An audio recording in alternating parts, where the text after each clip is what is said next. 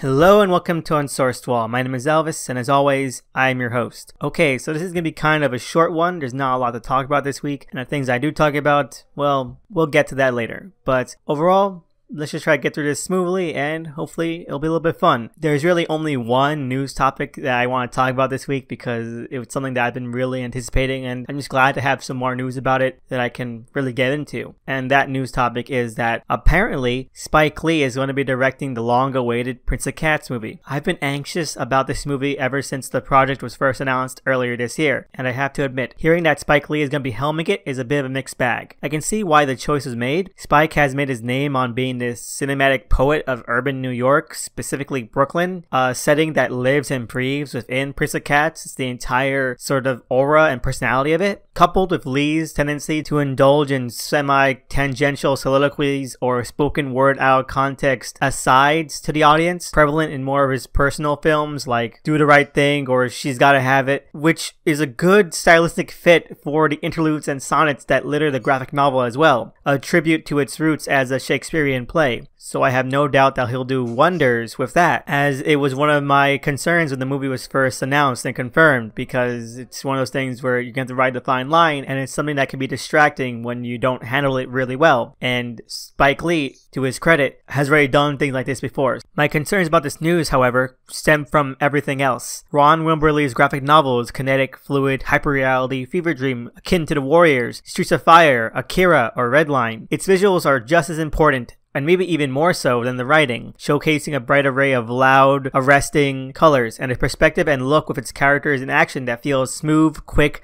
untethered, and incredibly over the top, which isn't the kind of director that Spike Lee is. It's not the sort of thing that he does. It's something more along the lines of what Robert Rodriguez would be doing. Spike has a very staunch eye with solid framing and pretty steady shot construction. He doesn't have the sensibility to get at the heart of Prince of Cats in terms of the action, look, design, and camera movement. I hope I'm wrong and that he does delve right into unfamiliar territory for himself, but I'm cautious. I hope that whatever he's able to do captures the spirit and attitude of the comic at least. If it can, maybe it will be as cool and as impactful as the comic was, because it is a truly unique and incredible vision that is truly all its own and not just a standard retelling. Fingers crossed, and I hope that all works out. Moving ahead to what I read this week, we have Hawkman, which is pretty much the only thing I picked up this week. I'm glad to say that kind of threw me for a loop. It's not the best issue, but it's definitely more interesting than I was expecting. I've been pretty let down by this arc so far, and I stand by my opinion that the transition into event tie-in was limply and clumsily handled, which is why it's so strange to me that this is how they decided to play with it, when all the previous issues did was make it sound like rushed and forced character development. Because rather than being infected and feeding into his worst impulses, Hawkman in this issue is actually just being possessed by the ghost of his Earth 3 counterpart. And that's kind of an amazing premise. Like, you don't even need the event as an excuse to do this. It's just a bonkers but completely amazing conceit to hang a story around. Like, you could have done this at any point and it would have been just as insanely interesting. I'm, I'm all for it. I really am. I love that idea, and the issue takes more than enough advantage of it. From this fun flashback to Earth 3 with such luminaries as the Pinkerton Ghost and Shadow Sheriff to Carter fighting his possession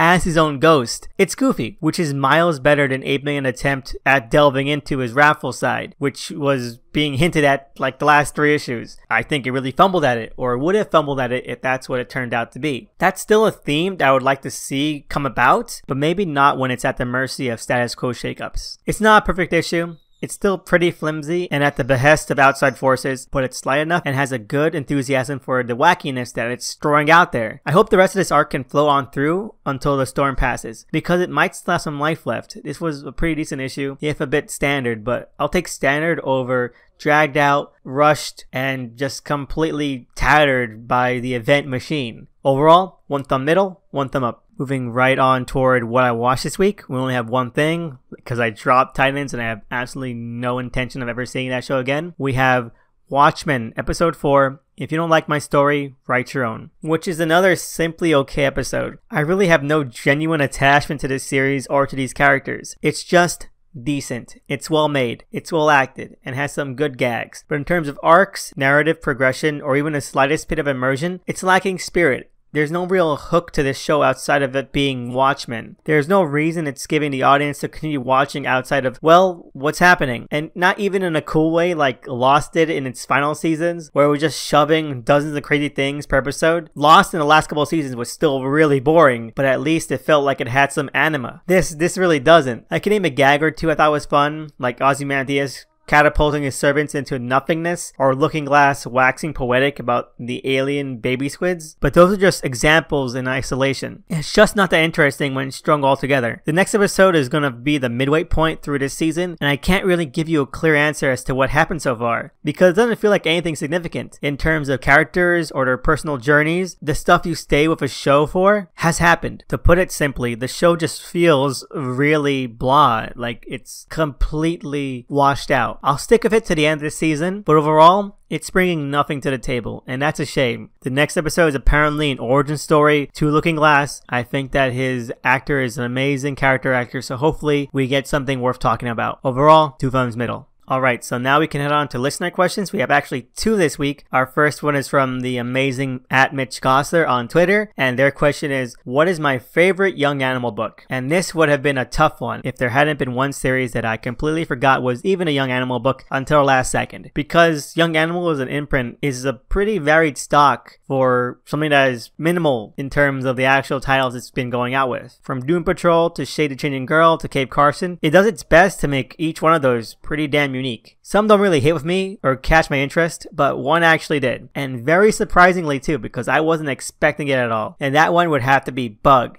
The Adventures of Forager, because not only was it this quasi ambush bug romp through the DC universe, particularly the Simon and Kirby era, but it also somehow ended up dovetailing Starlin's Cosmic Odyssey New Gods trash into something actually poignant and more in line with what Kirby had in mind for the characters and their own emotional arcs. It was like a reevaluation and felt very fitting for everyone involved. It was very sweet, which is not something that I would ever say about Starlin's New Gods schlock in general, but it bridged that distance, and I am just so grateful that it did because, well, it's good to know that at the very least, that story has something that was actually worthwhile that came out after it and not just Starlin's insane hackneyed ideas. So yeah, that would have to be my favorite of Young Animal. So thank you for that question, Mitch. And it was really fun just reliving and rethinking about the final issues of Bug because they really did stick out to me and I really enjoyed them so much. Next up, we have a question from the ever great awesome illuminated i'll put all their links below check them out they're amazing and their question is what is my favorite hawkman incarnation well let's just get out of the way hawkworld Hawkworld was amazing. It felt like the actual reinvention of the character that at that point in time, with all of this Man of Steel and Year One hoopla, well, it felt like what Hawkman deserved. It was bold and it brought something new to the character, and I think that most incarnations since then have paid some deference or tribute to it in some way. So yeah,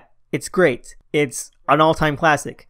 Personal favorite though, Nighthawk simply because of the idea, the conceit, and if there was a dedicated miniseries based on Nighthawk and Cinnamon, I'd be there. It's just nice to see a Hawkman and Hawkwoman that are so simple. Like they're just cowboys, no superheroes or aliens or royalty. It really puts the whole reincarnation thing into perspective, and I think it kind of grounds it a bit, which is really fascinating. Honestly though, a lot of times the reincarnation angle is played for a lot of gags, or at least like one-off jokes or references or sort of little reveals, and that's why I really like the first season of Venditti's Hawkman series because it really tries to delve out a little bit more and have them more connected, even though it does end up doing a lot of the whole gag stuff anyway. And I hope that this season, after it gets through the event, continues to bring up more and explore more the incarnations because, well, that's Hawkman, and Hawkman is one of the characters you can actually do that with and have it make some sort of sense. But yeah, Cowboy Hawkman and Hawkworld. I mean, what else is there? So thank you for that question, Illuminated. It was really fun, and well, Hawkman is a character that I don't think there's ever been a truly bad version of.